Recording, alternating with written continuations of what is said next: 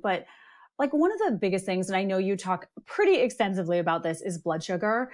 And and i know that this is not sexy at all to anyone um and i get like i get it. But as you get older ladies trust me it really it becomes super sexy. But you know one of the things that a lot of us don't realize is how the menstrual cycle and those sex hormones influence blood sugar and insulin.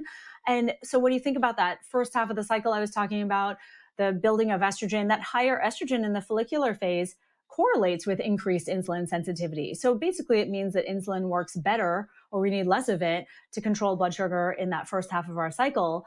And then around ovulation, insulin sensitivity starts to decrease. Um, because of that drop in estrogen post ovulation, and then progesterone rises. And then Insulin is actually higher generally in the luteal phase, and higher progesterone seems to affect insulin sensitivity a bit negatively, unfortunately. And so it causes this a bit of an increase in insulin resistance, um, you know, during the phase of the cycle, this phase of the cycle. And you know what this really means is that we're just more prone to blood sugar swings, the hyperglycemia to hypoglycemia, and we're more sensitive to those drops in blood sugar in that second half of the cycle. And this, of course, creates mood symptoms. It creates changes in our weight, which are some of the biggest concerns that I hear from clients. Women in every single survey I do, whether it's on Instagram or to my community via my mailing list, they say their mood symptoms are the biggest concerns. And I, you know, I constantly think about the incongruence of our biology with this modern world. It's not great. And as you said, right, moving to the farm really helped.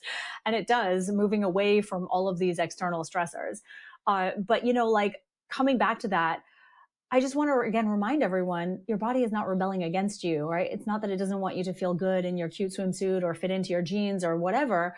It's that you're primed for making babies and insulin plays a really vital role in every stage of that process. And, you know, when you think about the first half of your cycle, your body is directing all this energy towards building up that uterine lining and the maturing follicle, and it comes from glucose. and so that insulin sensitivity helps sort of direct that glucose to those really energy intensive activities that are happening in your body. And then in that second half of your cycle, it supports energy storage in the adipose tissue because you might be potentially pregnant and you need that energy storage for a potential pregnancy. Um, and our bodies, you know, we've re- we've evolved over like hundreds of thousands of years, and they're really, really smart. And I feel like we just constantly are working against them or working our, against our biology. And so, just like I said, the blood sugar piece I think is so so crucial um, because when we can actually start to get that under control, that changes so many things. That's the key. That's the key. And the thing that women I don't talk about this much online because it's a lot of biochemistry, but we're always talking about insulin sensitivity and optimizing the insulin receptors. But what nobody's talking about is that we have these other independent pathways that are insulin independent, the AMPK, the SIRT1 that lead into PGC1 alpha. And those are stimulated by exercise. Those are stimulated by caloric restriction. Those are stimulated by GLP 1s.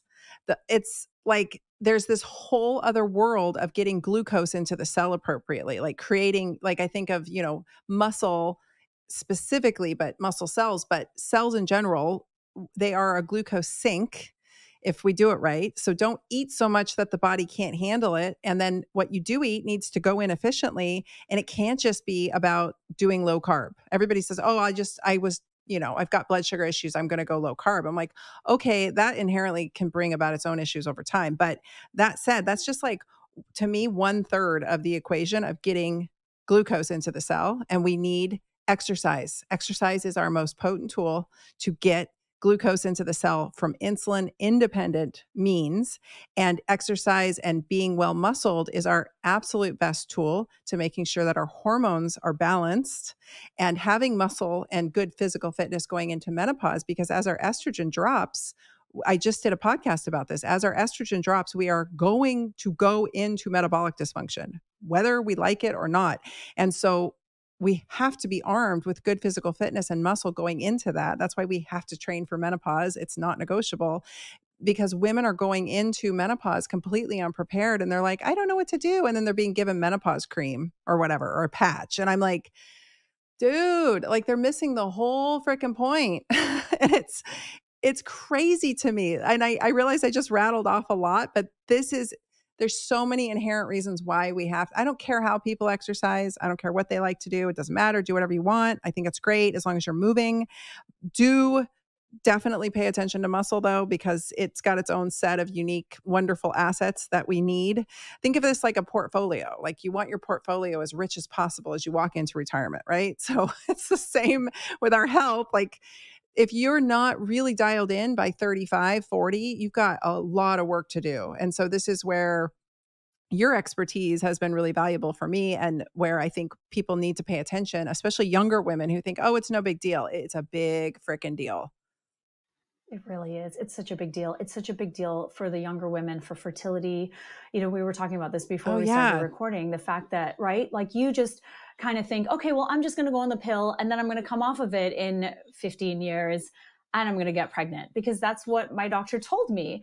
But the more research that comes out now about the effects of the pill and, and what it does to, you know, every aspect of our health, um, and again, there are lots of people who take the pill without incident. So I get that. There is that. But there are a lot of us who don't. I am one of those people. That is why I actually do the work that I do.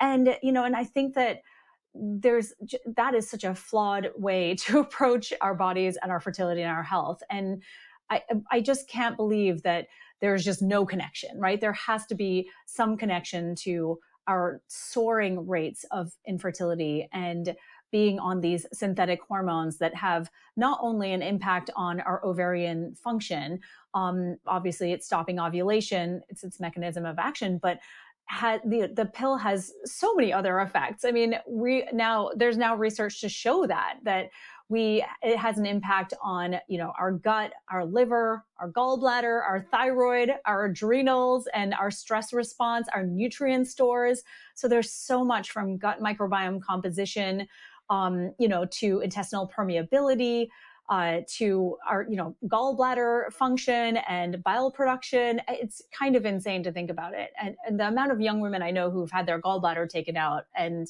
it was because they were on the birth control pill is astounding. Yes. And so I think, right, we have to really consider this stuff uh, before we make a decision to just be on this medication that is not without side effects for most people um, you know, for extended periods of time. It just wasn't designed to do this. It wasn't designed for us to be on it for these long periods of time. And if you don't have your gallbladder working, you and your bile production happening, you don't absorb your fat soluble vitamins, which are essentially acting as hormones, and you are, I mean, you don't get your A, your E, your D. It doesn't it doesn't get in so it's just a it's a disaster. See i would see these women in my practice and they were hitting middle age and it was hitting them like a train you know like yes. a complete train wreck and i was like oh geez like i wish somebody would have done intervention 20 years ago because this is going to be a tough one